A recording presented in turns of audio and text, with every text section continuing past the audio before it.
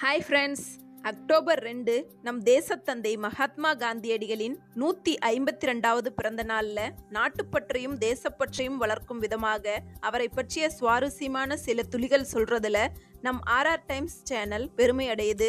எங்கள் சேனலை சப்ஸ்கிரைப் பண்ணி எங்களுக்கு சப்போர்ட் பண்ணுங்கள் தகவல்களை பார்க்கலாம்.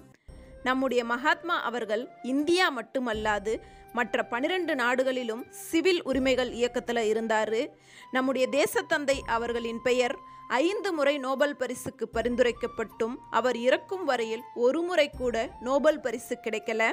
மகாத்மா அவர்கள் இறந்து இருபத்தி ஓரு ஆண்டுகளுக்கு பின் பிரிட்டிஷ் கவர்மெண்ட் அவருடைய பெயரில் தபால் தலையை வெளியிட்டாங்க. இது அவருடைய அகிம்சை போராட்டத்துக்கும் தன் தாய்நாட்டிற்காக இடைவிடாது உழைத்த நாட்டுப்பற்றுக்கும் கிடைத்த வெற்றி.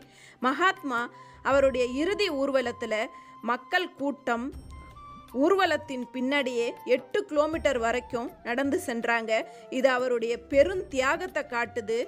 அது மட்டும் இல்லாமல் மகாத்மா அவர்கள் கடிதத்தின் வாயிலாகவே Tolstoy Einstein Hitler Charlie Chaplin போன்ற பிற நாட்டு பிரபலங்களிடமும் நட்பாக பழகியவர்.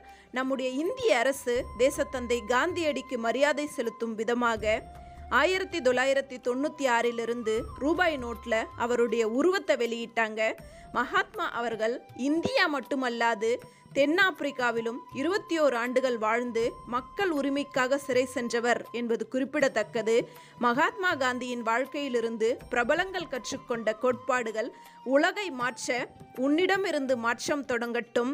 அமைதியை ஒருபோதும் ஆயுதத்தால் வெல்ல முடியாது. மனிதன் என்பவன் எண்ணங்களின் தொகுப்பே எதுவாக நினைக்கிறாயோ அதுவாக ஆகிறாய். நான் என்னும் அகங்காரத்தை விட்டொழி பிறருக்கு சேவை செய்து உன்னை அறிந்து கொள் காந்தியடிகளை பற்றி மேலும் சுவாரஸ்யமான தகவல்கள் இன்றும் மதுரை காந்தி அருங்காட்சியகம் டெல்லி காந்தி சிம்ருதி தர்ஷன் சமிதி அருங்காட்சியகம் அகமதாபாத் சபர்மதி அருங்காட்சியகம் காந்திநகர் தண்டி காந்திநகர் அருங்காட்சியகத்திலும் மகாத்மாவை பற்றி அரிய பொக்கிஷ்யங்கள் உள்ளன.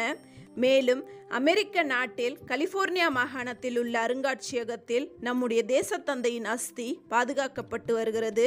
மதுரை காந்தி அருங்காட்சியகத்தில் அவர் கடைசியாக அணிந்த இரத்தக்கரை படிந்த ஆடை இன்றும் பாதுகாக்கப்பட்டு வருகிறது. ஹே ராம்!